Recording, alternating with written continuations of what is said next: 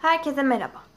Bugün önünüzde gördüğünüz limon suyu, içme suyu, sirke ve karbonatlı suyun asit mi baz mı olduklarını görmek için bir deney yapacağız. Bu deney için elimizde kırmızı lahana suyu ve kırmızı lahana suyuna batırılmış peçete veya beyaz bir kumaş parçasını kullanabilirsiniz. Evet hemen başlayalım.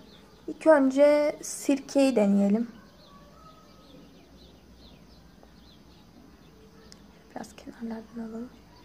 Gördüğünüz gibi sirke e, lahana suyuna batırılmış kağıdı kırmızıya çevirdi. Çünkü sirke bir asit. Şimdi karbonatlı suyu denemek istiyorum. Bu kez kumaş deneyeceğim. Kumaşımızı batırıyorum. Bunda pek bir renk değişimi olmadı. Yine mor kaldı. Bakın isterseniz.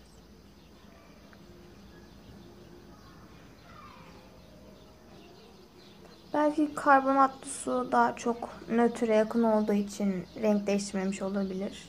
Ya da daha baza yakın olduğu için mor rengi elde etmiştir ve o yüzden gözükmüyordur. Ama biraz mavilik var. Onu görebiliyoruz. Birazcık bir mavilik oldu. Yani buna da baz diyebiliriz. Şimdi içme suyunu deneyelim. Şöyle batıralım. Bunda renk değişimi olmadı. Çünkü içme suyu yani saf su olmasa da içme suyu da nötr bir e, asit ya da baz değildir yani. Son olarak da limon suyumuzu deneyelim. Bakın kırmızı olduğunu görebiliyor musunuz? Şöyle kırmızı sirke gibi limon suyu da bir asittir.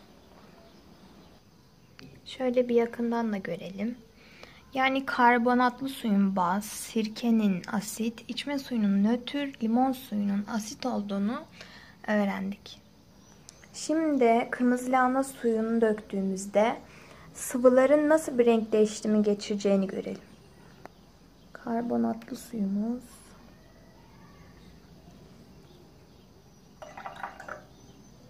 Gördüğünüz gibi koyu bir mor oldu.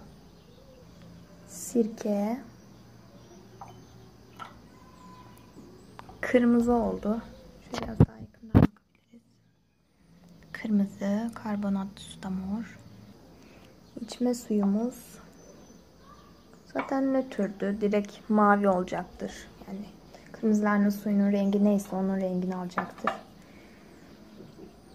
Ve sen olarak limon suyunu da gördüğünüz gibi açık bir pembe yaptı.